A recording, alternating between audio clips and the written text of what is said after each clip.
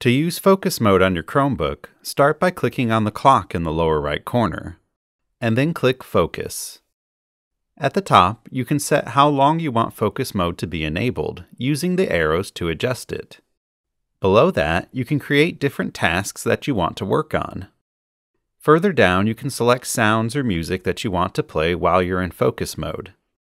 And you can also choose whether or not to have Do Not Disturb enabled while you're in focus mode so that you don't get bothered with notifications. Once everything is set how you like, scroll back to the top and click Start. You'll now be in focus mode.